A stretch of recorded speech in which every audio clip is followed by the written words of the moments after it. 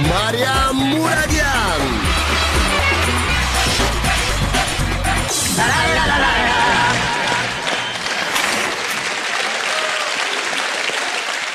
Նկատել եք գնալով պակասում են տղամարդիկ, որոնց վրա կարելի է հենվել։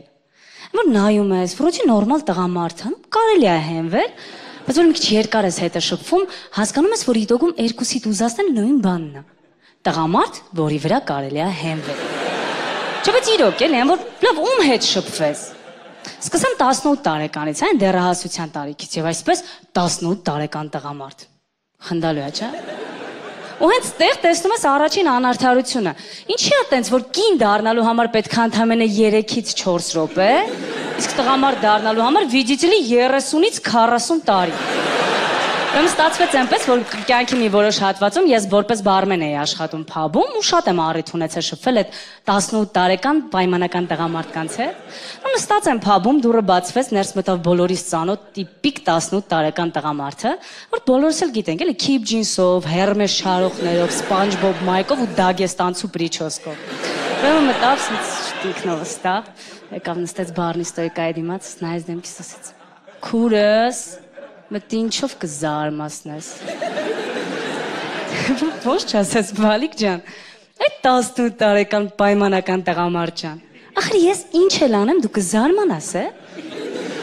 Բայց դե որոշեցի երախու սիրտը չկոտրեմ, նույնիսկ թվում է մի շիշ գարեջրի համար 20000 հաշիվ իրան լավ էլ զարմացրեց։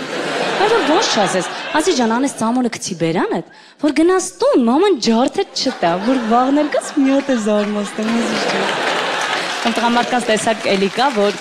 իրենց աղջկա հետ այդ շփվելու մեթոդը ինչ որ ռոմանտիկ ձևակերպումներ ունեն։ Լուսանկարիչ տղամարդիկ։ Մի օր մի հատ այս լուսանկարիչ տղամարդ ցես նայես նայեց ասեց Մոշա, բայց դու էսիշ լավն ես։ Քեզ որպես մոդելն ես կօգտագործել։ ինչ տոնա։ Ինչ համարցակություն է։ Կամ մեկը լինի հարցնի տղա ջան, դու այդքան օբյեկտիվ ունես, որ ինձ օգտագործես։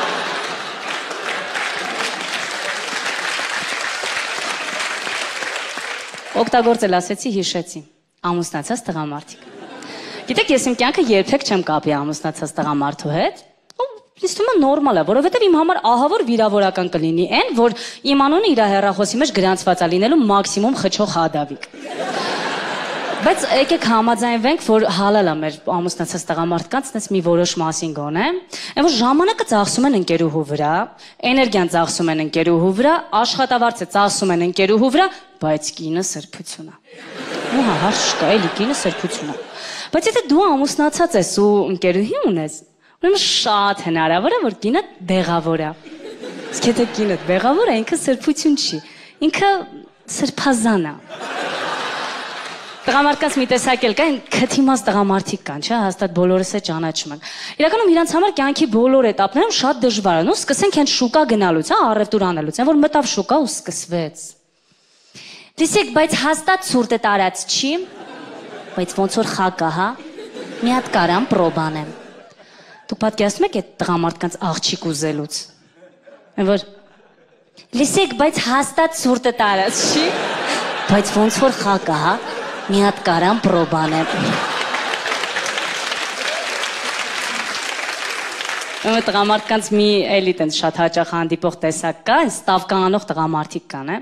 որ միջև խաղը սկսվել է գնում են համապատասխան տեղ ստավկա անելու։ Կապում են լիքը խաղեր, չգիտեմ, Ռեալի հաղթանակ, Բարսայի խաղի ժամանակ մարդ կմտնի դաշտ, Ալաշկերտը 3 հատ գոլ բաց կթողի, Հենոն էլի գոլ կխփի շաբաթ։ Մի խոսքով այդքանը կապում են ու դնում են 1000 դրամ։ Այն դեպքում, որ եթե հաղթեն, նո շահել են մոտավորապես 2600 դրամ ու գնում են խանութ համապատասխան առևտուր անելու։ Ու գնաց ֆստեղ, ջերկի, չիփս, ռակ ու երկու յաշիկ կիլիկյա։ Այն որ 20000-ից ախս են անում այդ մարդիկ, որ գնան տուն, նստեն նայեն այդ խաղը, տեսնեն այդ 2600 դրամը կպնում է թե չէ։ Այդ իմ համար ահավոր տարօրինակ է, այդ նույնը ոնց որ ես մտնեմ խանութ, ինչ որ կարմիր զակոլկա տեսնեմ, ինքը ինձ շատ դուր կա ու ես գնամ դրան համապատասխան առնեմ կարմիր կոշի, կարմիր շորիկ, կարմիր սումեչկա, կարմիր Nissan March։ Ինչա թե այդ 400 դրամանոց զակոլկեն 50% սկիդկայի տակ է։ Այն որ հարցնում ես, ասում ես, լսի, լավ, քեզ այդքան ծախսանում, եթե իդոգում բան չես շահելու։ Ասում եմ, լսի, Մաշա, դու կարող ես գիտես, ես էդի փողի համար եմ անում։ Պրոստը ես միչև ստրավկա չդնեմ, չեմ կանանա։ Լավ, դա չասելու բան է։ Այդ նույնն է, ոնց որ առավոտը մտնես паспорт ցեղան, ասես, բարև ձեզ, կներեք, ելեմ մի հատ կնայեք իմ паспортը պատրաստա թե չէ, գթեքվի ասի։ Լսի, Ազիզ ջան, ես միչև կոֆե չդնեմ, չեմ կարանա։ Կամ տղամարդկանց տես տեսակել կա, չէ՞, որ ստաբիլ գնում են ֆուտբոլ խաղալու։ Որ Կիրակի ասում ես, կյանքս էսօր Կիրակի, արի իրար հետ միտեղ գնանք նստենք, ասում եմ, Մաշա, դու չգիտես, մենք ամեն Կիրակի տղեկով գնում ենք ֆուտբոլ խաղալու։ Ну հա լավ է կանոն, բան չասացի։ Բայց մի հատ հարց տամ էլի։ Լավ, խիեք ամեն Կիրակի ստաբիլ գնում ֆուտբոլ խաղալու։ Ինչ մտածում եք ձեր առողջության մասին։ Ուզում եք նիհարեք։ Լավ, բայց դեպքում խիեք գրած խաղում։ 5 յաշիկ պիվայի ու գառան վրա կամ են որ բանկի աշխատողների միջև խաղ է լինում ու ստիպում են իրանց կանանց ու ընկերուհիներին տանում են որ այդ խաղը նայել լավ խիք տենց բան անում ինչ ձեզ իրոք թվում է որ այդ կանանց ահա որ հետաքրքիր ու հաճելի է երկու ժամ նայել թե ոնց են 22 քրտնած մսագունդ իրար վրա գորալով գնդակ տշում բայց իրականում ես մի օր հանդիպեցի իմ երազանքների տղամարդուն որ նայում ես իր հակու կապը իր օծանելիքի հոտը իր ժամացույցը իր Պորշի բանալիները, վայ, իրա ցավը տանեմ։ Որ մենք մի երկար ժամանակ ուղակի տենց շփվեցինք ու ես չէի հասկանում։ Գիշերն է չեմ կարողանում քնեմ, որովհետև ահա որ սիրահարվել եմ իրան, թե ուղակի վերևի հարևանի դռելի ձենը չէր թողում։